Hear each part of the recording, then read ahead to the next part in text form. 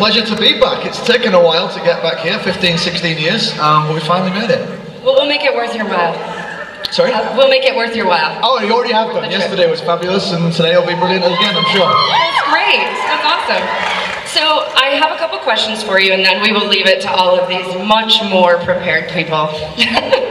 um, my first question is, okay, I want to know this about everybody in Harry Potter. Were you a Harry Potter fan before you were in the movies? Was this just an acting gig that you went for? Uh, well, um, I'm both. I mean, I, um, I've been acting from the age of five, um, and when I was about nine years old, a friend of mine introduced me to this book called Harry Potter and the Philosopher's Stone, and I thought it was really boring.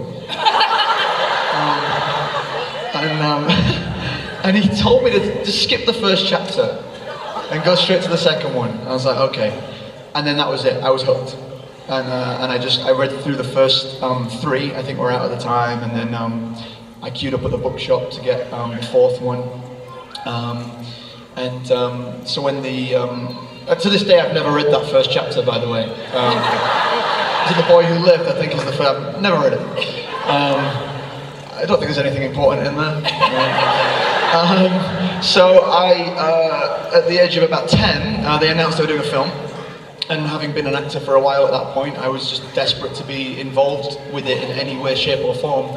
Um, I, I thought that I would probably be in the background, doing some kind of walk-on role. Uh, never expected to get any dialogue whatsoever, um, let alone to, um, to get a role like Neville. It was, um, from, from both a fan's perspective, um, from a fan's perspective and an acting perspective, it was a dream come true. Yeah. That's so cool. Do you think that Neville should have been the chosen one? That's in the first chapter. You might not know the answer. So I mean, what do you guys think? They're probably bigger fans than me, so I'll go with that. one of my favorite shirts here says Neville could have done it in four books. So, I mean, that's your words, not mine. I won't argue. all right. So, uh, my next question: Can you share with us, like, one of your strongest memories when you think about being in Harry Potter? What is it like? What first comes to mind?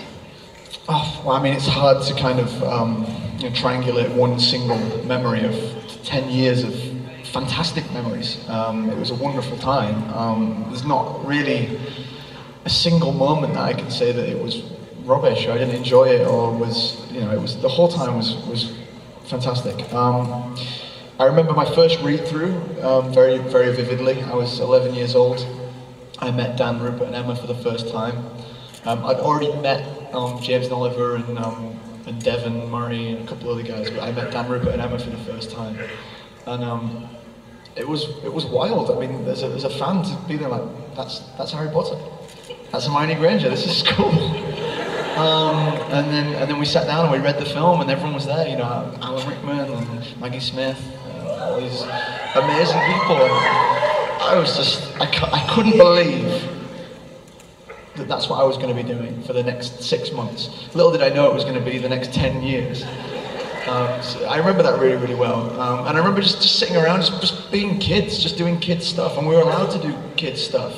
Um, we had like a we had a soccer pitch that was uh, on the grounds. Um, we had a because we had a heavy, heavily American crew early on with Chris Columbus being the director. Um, so we had like a, a basketball court that was built inside the studio that we used to play on, and we were just, we were just allowed to do kid stuff, and that's why I think um, so many of us, have, have, have, you know, particularly Dan Rupert and Emma, have, have stayed so grounded because despite being in this phenomenon, they were allowed to be kids, and we were allowed to do it together, um, and we were allowed to grow. It was just like being at school, really was.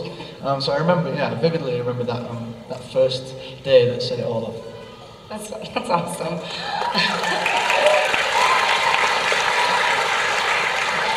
All right, my last question, because I feel like 10 years of your life is a lot, right? But you've, quite a bit, yeah. you've been doing things since Harry Potter, right? Do you want, what are you, what are you working on now? Do you want to tell us about what's going on? Um, yeah, okay.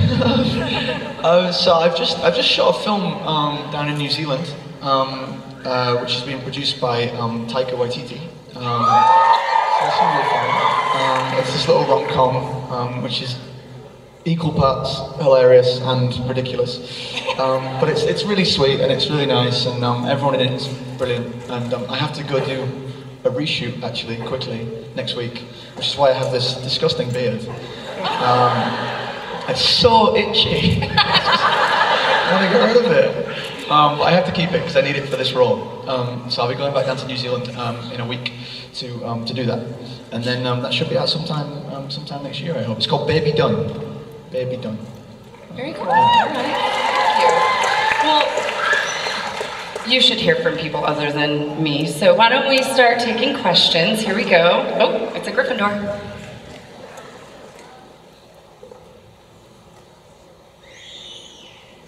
We got this. Don't worry about it. Muggles. There's so many, so many people in here.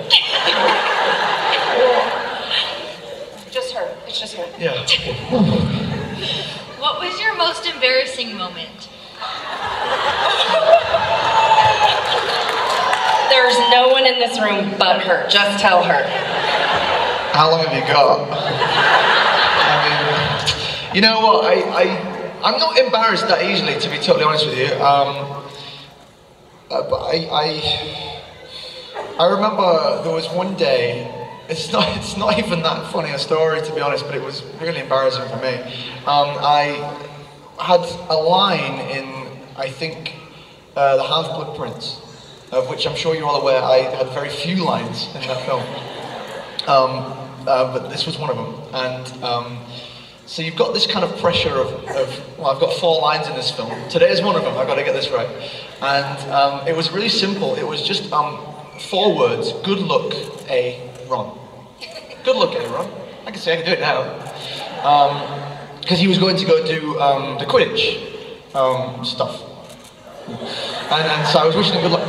And uh, it would happen to be the day that the entire like world's press and media were coming in to, to work um, to, to, to just watch us film for the day.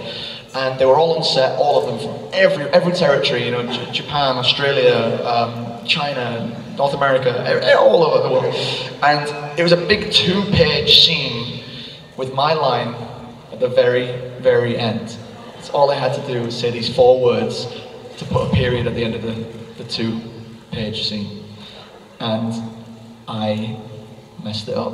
Um, I was going to say something, not, I wasn't going to say that. I was going to say like, something a bit ruder than that, sorry. Um, yeah, but I made a mess of it, is all I'm trying to say. And um, it got to the end of it, and I just went also to Rupert, and I just went,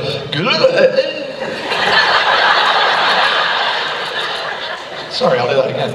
Um, and then we had to go rewind back to the start of the whole two page, and everyone's there, Alan's there, and I, I don't like upsetting Alan at the best of times. Um, but he had to do the whole scene again, and I just felt dreadful. So that was really embarrassing. Yeah. Thanks Thank you. for that. They seem to think it was very funny. So my sister Danielle is actually a fan of your character, but also mostly of the movie Me Before You. So what was your favorite part about filming that movie? Um, we um, did a lot of stuff at uh, Pinewood Studios mostly, but we also got to go away on location quite a bit, which is not something really throughout my career I've done a whole lot of. Most of the things I've done, both TV and film, have been in studios. We, we used to go a bit of location early on in Harry Potter, but, but after the first two, very, very little. Um, but on this, we did quite a bit of location stuff, and um, we went down to Wales, to Pembrokeshire in Wales, and um, uh, Sam, Emilia, and myself went out for a walk. And um, we didn't really know where we were going. We just went on this big trek throughout the Welsh like hills and valleys, and like jumped a few fences into a few fields, and we basically got charged by some cows. Um, and like everyone got stuck, and like Emilia lost a shoe in the mud, and so Sam had to give her a piggyback. um, like still being chased by cows. we just we had a really narrow, lucky escape. Got back over the fence, and all the cows were, came up to see us off. And, and Sam just made this point how absurd that would have been if in the news the next day it had been, you know, Daenerys, Finnick Odair, and Neville Longbottom trampled to death by cows in Wales.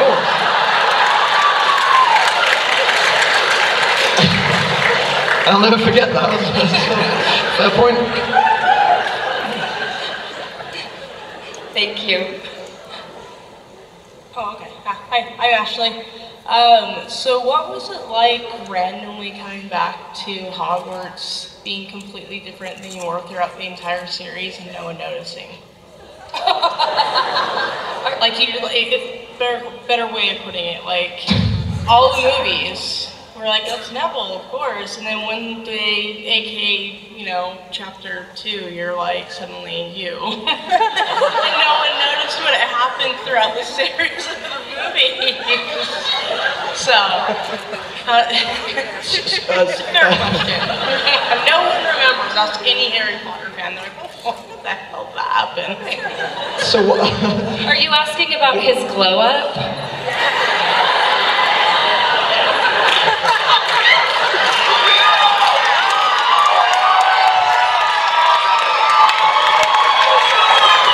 Um, forgive me. What's the question? I think she's asking about what was it like to come back. Oh, just what was it like? What was it? Yeah, Yeah. and to And you're know, like um, basically suddenly hot.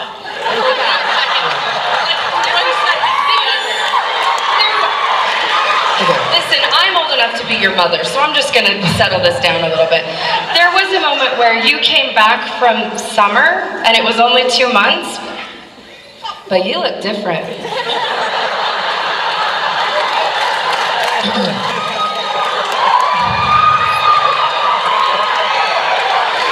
Okay. So sorry. Time out. So sorry. Uh, well, I mean, honestly, if you want to know how, hang on, I'm getting a phone call here. This? No, go. Um, um, I,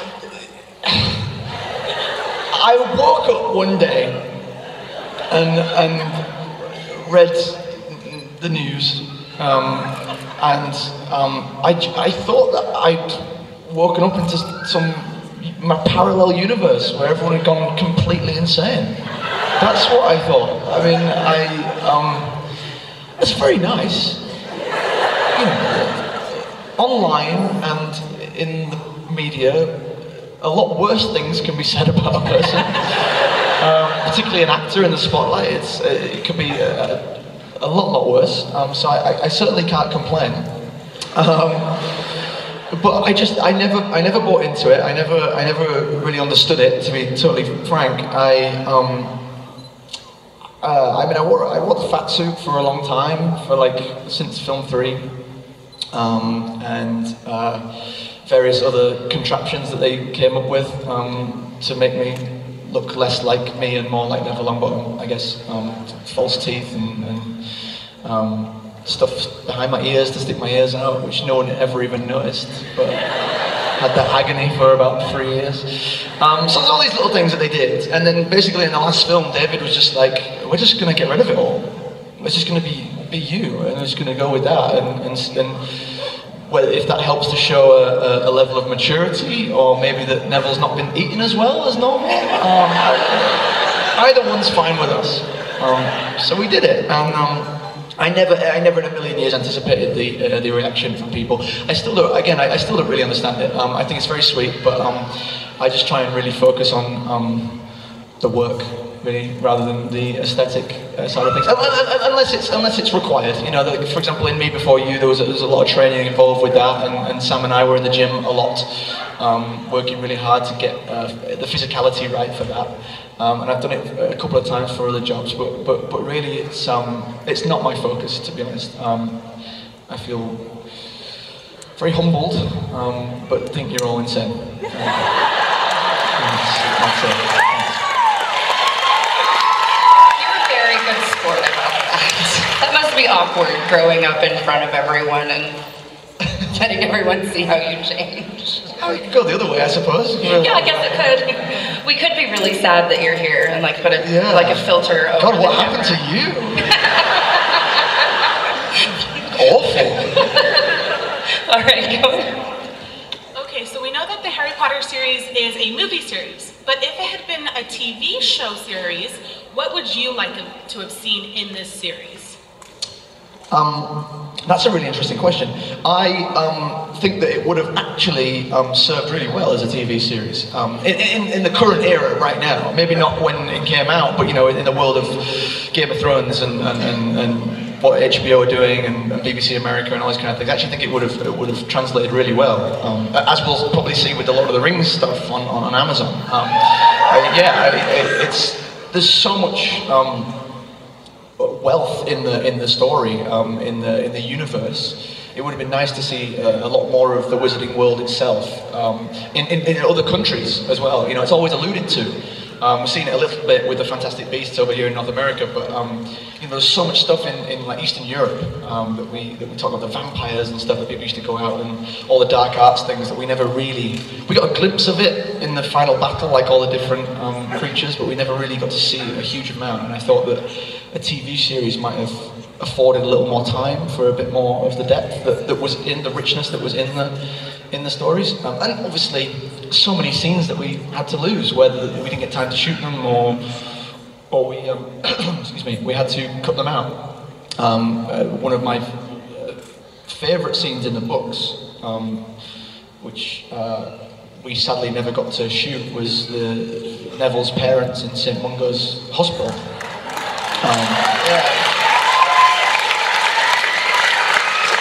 It was it was one that we really really wanted to do. David and I really really wanted to do it. Um, it meant so much to us both. I think that David has a very um, soft spot for Neville. Um, he he um, spent a lot of time with me and, and worked on that character a great deal. Um, I think he, he really related to Neville a lot and wanted to champion him throughout throughout his, his films, more so than than have been done before. And so David used to come to me repeatedly over over the months saying, "We're, we're going to do it. We've written the scene. We've got it. We're going to do it. It's going to be amazing." Um, and then he'd say, well, "We're really trying. We're getting there." And then he'd say, "Oh, I'm not sure we're going to have time, but we're still pushing it." And then it was, "We're just not going to get there." And I could see how gutted he was. That he was devastated not to get it in, but he just got away from us. And um, we ended up having to kind of shoehorn that entire backstory into like a like a 30 second bit in the room of requirement, um, which uh, was hard work. And so I think with a TV series, we would have had more time to explore that stuff, and, and we would have given a whole um, lot more um, uh, inspiration to why characters became why they did. You know, the, the, their reasonings behind that and their motivations. I think we would have seen it a lot more, not from Neville, but from from all the characters.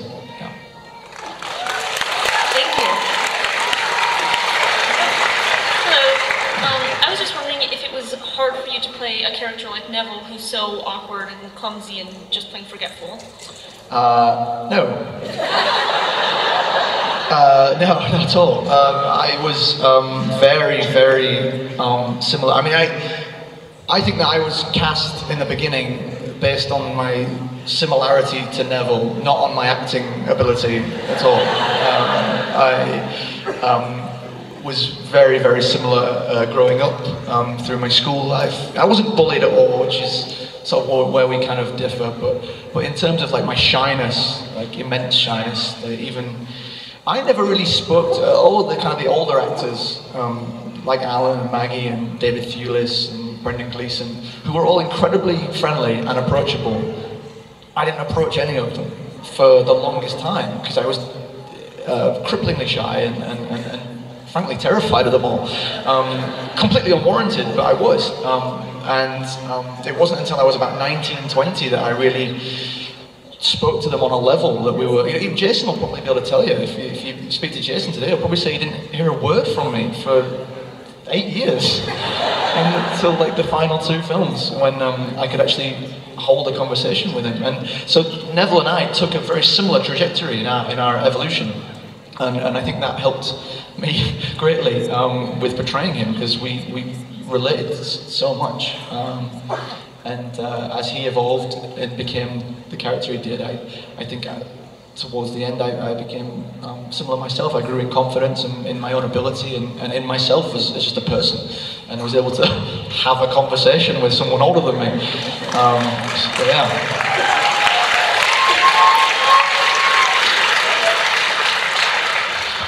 Uh, what animal would you pick for your Patronus? Oh, I'm sorry, mate. I didn't catch that. What animal would you pick for your Patronus? Oh, okay. Um, well, I'm glad you've let me pick because I did the bloody quiz and I got I got a tortoise shell cat. I mean, I imagine there's a few cat lovers in here, and I don't dislike cats. I have to I have to clarify. I might have said something in the past where I said I didn't like cats. I regret that. I apologize. I don't dislike them. I just don't like them. I am apathetic towards cats. Um, kittens, different story. Absolutely, absolutely. Adorable. Cats, fully grown cats, are ungrateful. Um, and that's all I have to say about that. Um, so I don't want to have a tortoiseshell cat. Um, but you've said I can pick my own. So I will have a little red panda.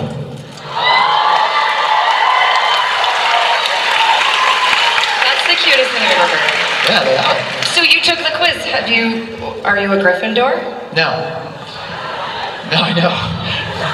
No, I'm a, I'm a Hufflepuff. I kind of wonder. Like Neville has characteristics of a Hufflepuff. So if you say you're a little bit like him, that makes sense. I have come to terms with it, yes. Um, a few, a few meetings, a few classes, and um, I'm there now. Hufflepuffs. Um, hi, my name is Britton. Uh, through the evolution of all the, the Harry Potter movies, who's your favorite person to work with through all the different films? Yeah, um, it's, it's so hard to pick a, a singular person. Um, you know, we all got on so so well. Uh, everyone got on so so so well, um, and that's why you know these conventions are so amazing because you get to uh, come across people that you haven't seen for years, um, and that you you miss, um, like Jason, like Tom, like Emma, you know, all those people. Um, and uh, I guess if I had to if I had to really pick one person. Uh, Dan, Dan Radcliffe was probably, um, as if you didn't know who Dan was, Dan Radcliffe. Um, uh, was probably, probably yeah. I, we were we were very close on set. Um, we uh, were very similar in terms of our um, musical tastes. Our sense of humour is very similar. We were constantly quoting um, TV shows and films that we that we liked. Um, always making each other laugh on set. Um, and I just found him incredibly uh, inspirational, honestly. His work ethic was unparalleled. Uh, he set the tone of the film. You know, it's something, a responsibility that I'm sort of learning now at, at 30 years old. Um, that a lead actor has on a, on, a, on a film or TV project. I've been fortunate enough to have a, that responsibility over the last couple of years, and, um, and, it, it, and it can weigh heavily. You know, you really have to set the tone and the environment, and, and it's not just the director's job. It's, it's it, the lead, the lead actor has to has to uh, pull their, their weight as well in that respect. And Dan did that from such a young age. He, he set the tone on set so wonderfully. It was a it was a, a, a safe place where people could could fail. You know, people could try things and they could fail, and it was they were given that opportunity, and no one was no one was made to feel uh, inadequate in any way. Um, and he, he really um, pushed that.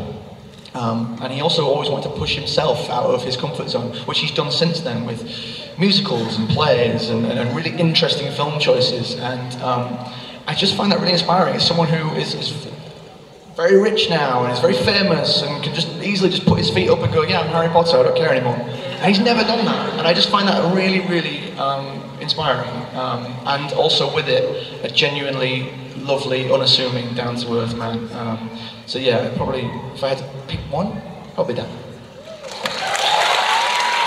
Thank you. Oh boy. I was wondering, what is your favorite deleted scene from the Harry Potter movies? Oh wow. Um, oh God. Um, let's think. What did I? Oh, well, you know what? Actually, I know exactly what it is because I was just talking about this yesterday. Um, it was all of Peeves the Poltergeist scenes.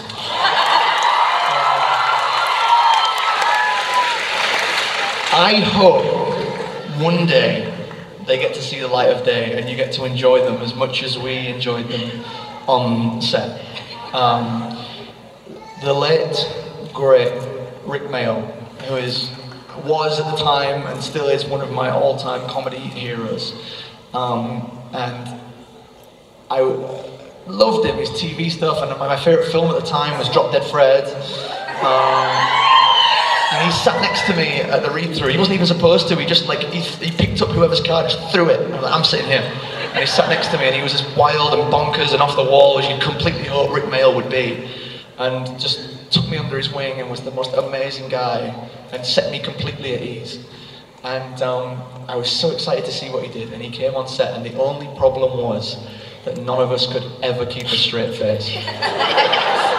Through anything that he did, none of us could do it.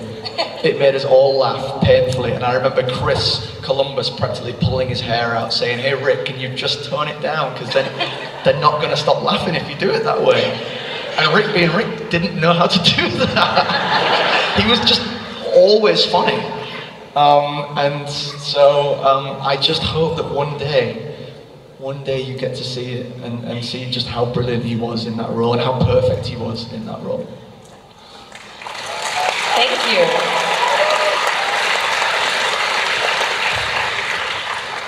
Um, I was wondering if you could date one girl from Harry Potter, who would it be? Would it be Hermione, Ginny, or Luna?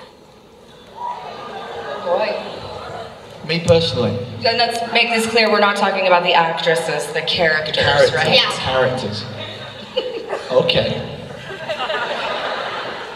Interesting. Game. There's the game. Know, I'm not playing the game. We don't want to play that game. Not playing the game. Uh, um, uh, probably. Um, I don't have to justify it, do I? Can I just say who? It, Yeah. um, probably Hermione. I think. I think. Yeah. Great answer. Yeah. yeah. She's wildly intelligent, um, and um, she'd probably just keep me out of trouble. yeah, Hermione. Thank you.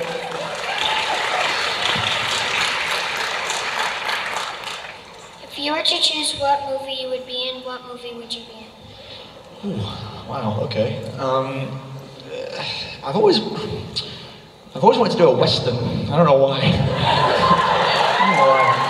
Um, I guess my, my dad was obsessed with westerns growing up, and my mum's favorite film's Butch Cassidy and the Sundance Kid. Um, I just always thought I, I love um, it's, it's like such a bang average. Well, it's not even really a. Tr- it's such a like I don't know, but Maverick. You know the film Maverick? Great I, uh, I love that film. I think I love the, the attire. I think it's the clothing that I am, I am the most fond of. Um, I, this is such a terrible story. I think I might, I think I, I think I might tell you it.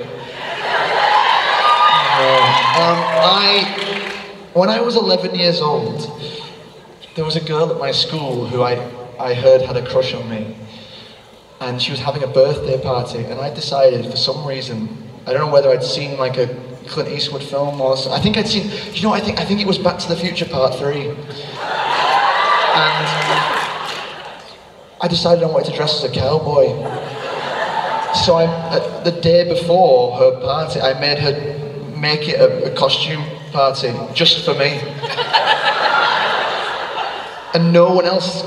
It was just just me dressed as a cowboy and her because she had a crush on me, so she did it as well, and no one else. To this day, I feel really guilty about that. I bet you look great. I just wanted to dress as a cowboy. So, you want to be in a Western? Can you do the accent? Uh, This is your audition. oh my god, you be joking.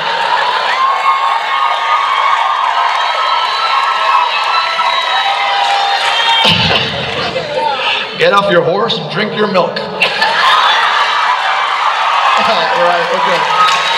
That's not my American accent, by the way. That's not actually it. Passable. Very passable. Thank you. What was your favorite line to say to Harry Potter?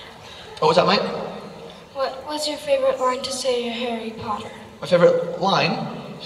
Um, uh, this is going to be quite a self-serving answer, I'm afraid, but um, it's going to be the one that I wrote myself, um, which was in uh, Deathly Hallows Part Two, um, when we blew up the bridge, and Neville comes up and says, "That went well."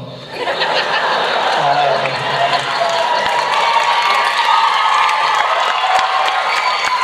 that was a Matthew Lewis original, and um, therefore my favourite line. Was it just ad-libbed in the moment, or did you run it by people? Uh, We'd uh, discussed it a little bit before. We didn't really have anything to say, or whatever was being said. I was like, "Oh, I'm not sure about that." And then David was like, "Well, just just make something up." What would you say? I was like, oh, "Can I just be like really sarcastic? Like, you know, that, that was good. That went well." And he said, "Yeah, try it." And then um, I just went, "Yeah." I climbed up and went, "That went well." And David was like, "That's it." Bravo. Thank you. She is ready for school. No, I'm really short. So I've actually heard before you mentioned it that you had different types of prosthetics and things to make you look more like Neville. And when I have to wear things that I'm not used to, I tend to trip or do something really embarrassing. And so I was wondering if you had a particularly funny story involving any of your prosthetics that you had an embarrassing moment with. Um, I well, for the longest time, no one was aware that I was wearing a fat suit. I actually didn't know that. When you said, I was like, oh my gosh, I had I no was idea. too. It was really convincing. I, re- I mean, I started wearing it in like film three, and then I think I took it off one day on film five, and everyone was like, "You look different." Wait, the people you worked with? Yeah.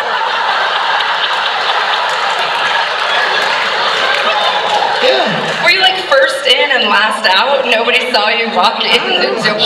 It's like something's different. I was like, I, I don't know. I've taken my tie off. I know. It's like, no, it's not that. Have you lost weight? What since breakfast? Yeah, it was weird. But I, I, that was like mortifying. Um, I, I, I broke the false teeth twice, and they were quite expensive. They were about 350 quid, so what's that? Back then, probably about $500. Um, I broke a couple of them, and so they, they glued them in. They got so sick of me taking them out and breaking them that they, they glued them in like some old lady. I could get them out, like, fixed them, and I couldn't get them out. Um, and I was like 17 at the time. It wasn't as if like I was a child. Like, um, so that was pretty embarrassing. Um, and mainly because of the same thing, because I wasn't fully confident that Emma didn't know they weren't my teeth. So, yeah, pretty, it was pretty embarrassing at times, yeah. But I'm a professional and I just got on with it.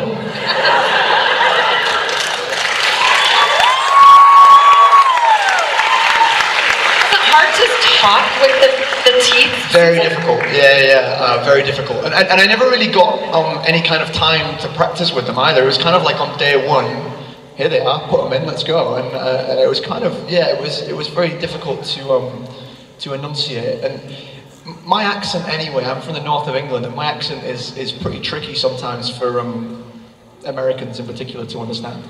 Um, I'm talking as, as neutral as I can for you right now. Um, this is uh, when I was a kid and I had a much stronger northern accent. Um, it was very difficult for me to, um, to, to make it make myself understood. And then when you had the teeth of the equation, it was very difficult. I remember there was a scene um, when um, I was supposed to say the word toad, but in my accent I'd say toad. And, and Chris Columbus thought I was saying turd. And he found it so painfully funny that they just cut it. So I never said it. Oh, Harry, you found my turd.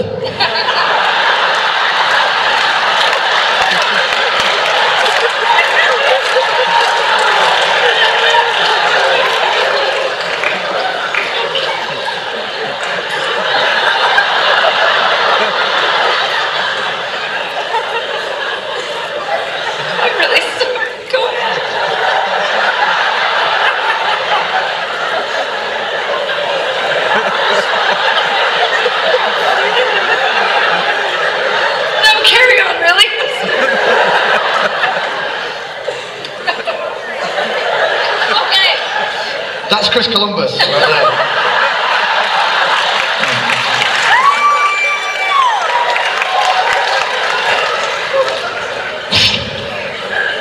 Right. For the third time. Go ahead. Yep. My question is, um, who was your favorite Hogwarts professor to film with? Oh, uh, Hogwarts Professor. Um, like reading the books as a fan. Um, do you mean? Um, to film with. Oh, to, oh like one of the one of the older guys. Um, Wow. That was mean, wasn't it? I mean, it's a fact, but you know. uh, I I really enjoyed working with um, uh, David Thewlis a lot. Um, David was a, a northerner like me, um, and um, so he was one of the few that I actually probably spoke to um, at that young at that young age, and he was very very friendly. To be fair, like every, everyone that came in, I actually have a different kind of um, moment that I think about and go, oh, that was actually a really nice time. Remember um, talking to Kenneth Branagh. Um, Quite a lot, and um, well, I mean, he sort of talked at me, and I sat there very quietly going, yeah, yeah. But um, he was very sweet, and and Brendan Gleeson. I remember, like when I first met him, he just gave me a giant bear hug, like the biggest. I mean, he's a big guy anyways, but his big hug, and I was just like, I like this guy. Um, so he was fun. Like they were all so great. It's very hard to pick one one singular one, honestly. Yeah. Do you have a favorite professor from the books, though? Who's your favorite Well, character? coincidentally, it's Lupin. Yeah. Ooh, hello. I'm Audie, and I was wondering, wondering what was your favorite spell? Favorite spell. Um, I have been changing this from time to time, but I'm trying to stick with one. Um, I think Expelliarmus is my favorite. I don't really know what it does, but I like the way it rolls off my tongue. So, Expelliarmus. That's the answer to that. I think. Hi, I'm Kai. and My question was, what was your favorite scene in Harry Potter? Um, uh, that, that I was that I was in, or, or yeah, yeah, good. Um,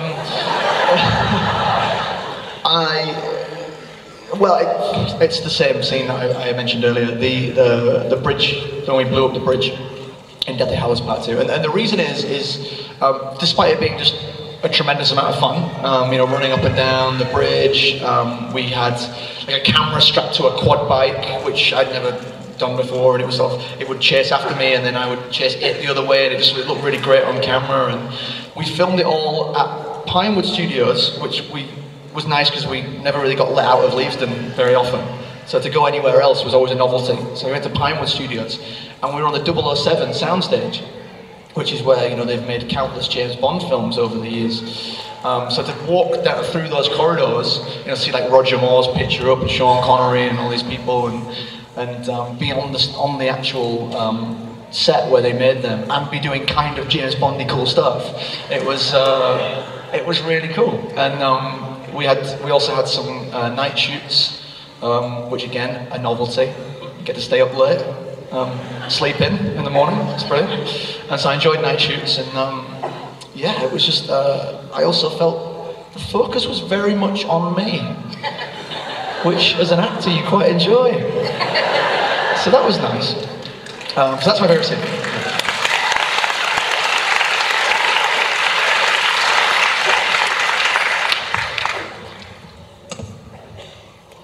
Hello. My question is between a film role or a stage role, which would you prefer? Um, film. Stage is really hard. It's, don't get me wrong, it's, it's, as I've said before, it is the purest form of acting. Uh, the, the reaction that you get from the audience and the changing reactions that you get from your um, fellow actors that can completely change the way you perform a, a line or a scene or can change your intention. It, it's, it, it's, you have to be so engrossed um, emotionally, know, mentally in, in your character and the environment and your motivations and all these things. That you're not thinking on your feet, you're just doing, you're reacting instinctively. Um, and if you don't have that, it's so painfully obvious. Um, and you are so exposed, and there's nowhere to hide. Um, and it's amazing for that, for that reason. You know, the things that you learn, um, it's hard to quantify. Uh, you come out of a play and you just you feel like a completely different actor. Um, but the caveat is that it's bloody terrifying. And you are under an immense amount of pressure, and you know that, uh, as I say, there's nowhere to hide. The reviews that will be that will be coming out will be about you, um, and it's it, it's it's really hard work. And for for however long you are there, um, three months, six months, that pressure, that weight never really lets up. Um, and it makes it very difficult um, in terms of uh, like home life even because you just you can't be present all of your emotional energy is is, is in this is in this project um, whereas I think that uh, film and TV affords you a little more uh, leeway with that, a little, a little uh, wiggle room um, that a play just doesn't. Um, you know, when, you, when you're out there on the stage every night, you've just you've, you've got to be on. Um, there's no take two, um, and and that's an immense amount of uh, of pressure.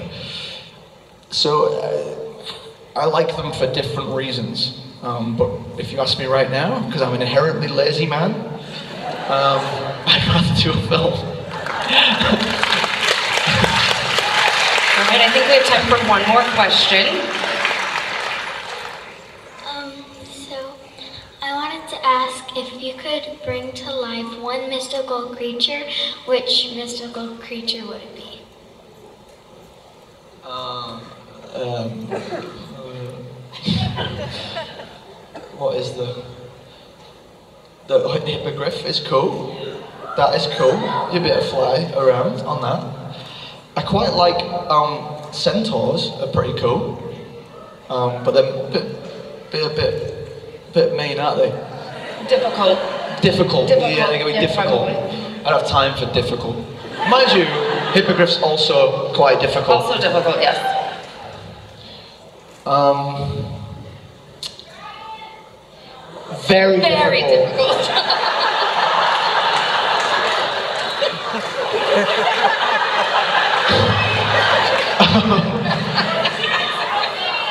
Um, what?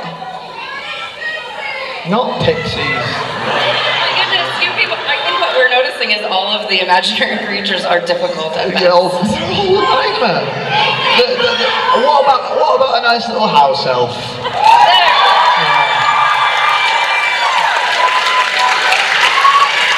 But like I would keep it to do all my stuff. Yeah, it's not a free elf.